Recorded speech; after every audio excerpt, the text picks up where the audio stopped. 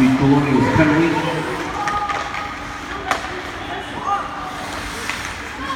Number 84, two minutes cross-checking.